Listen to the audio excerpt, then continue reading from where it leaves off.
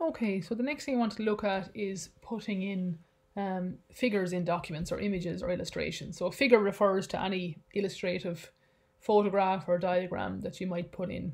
So you can see here I already have one in here. Um, I've inserted a photograph here from um, an article by Veterinary Advances. So um, what I'm going to do is laying that out, I want to make sure that it's appearing like this. Don't be tempted to put, to try and put your document um, with the text wrapped around it. I'll just show you what that looks like. So if I take um, size and position, um, text wrapping, currently it's in line with text, but if I put it, say, um, square and click OK, you can see now I have this image here with the text around it. My advice is not to do that because it just makes it very hard to format your document um, correctly. So I'm going to press um, Command and Z to undo it. Um, Control and Z will Control and Z will also undo it in on a PC. So I have my um, illustration here. In terms of in putting in a caption on them, for um, figures, the caption is traditionally put at the bottom of the image. Again, I've just typed this in while I was doing it, so I knew what the figure was referring to. But now I want to go back and actually put in a, um, use a tool in Word to put a caption on this so that if I then come along and put in a new image, this will automatically resize, rename itself to figure two instead of me having two figure ones. So it takes a bit of time to set this up at the start, but then it makes formatting your document much easier afterwards. So I'm going to go to insert and I want to put in a caption. It wants to know what type of caption. Um, this is a figure. I could also make it a table or an equation, but it's a picture, so figure is what we want. Then I'm going to type um, it here. So I have some text here.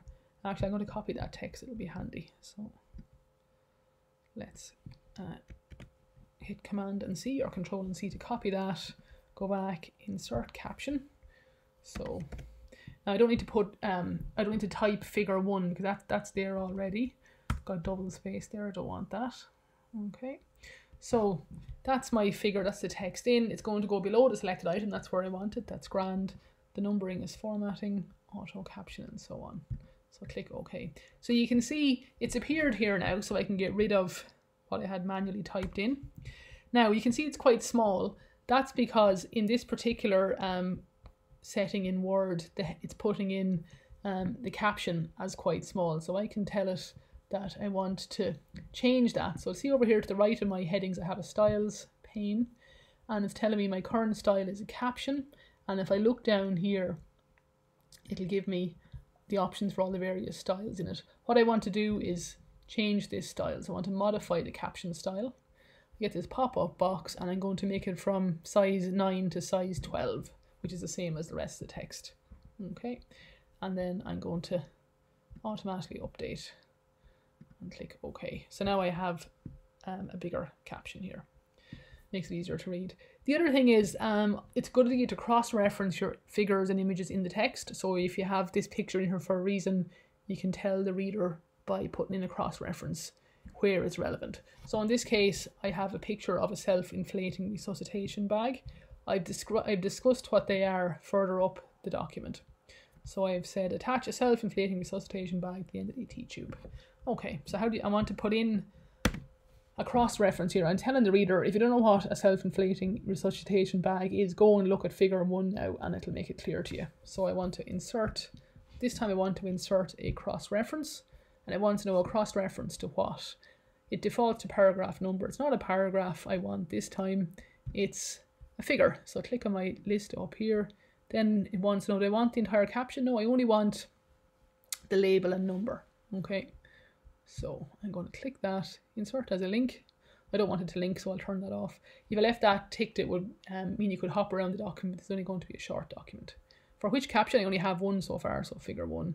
Insert that and close. Okay.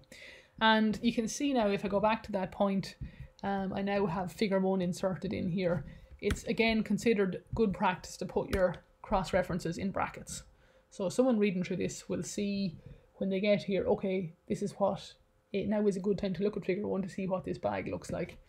Again, you'll notice it has a capital um, F. That's fine. That's considered normal in terms of how the how Word lays out the cross reference. So I'll leave that as it is. If I came along and put in another figure up here, I'm going to do that now in a minute, to show you what will happen then is this will automatically update to figure 2 and the heading here will change to figure 2 as well. So my next video I'm going to show you how to put in a second image and then watch these automatically update themselves. Okay.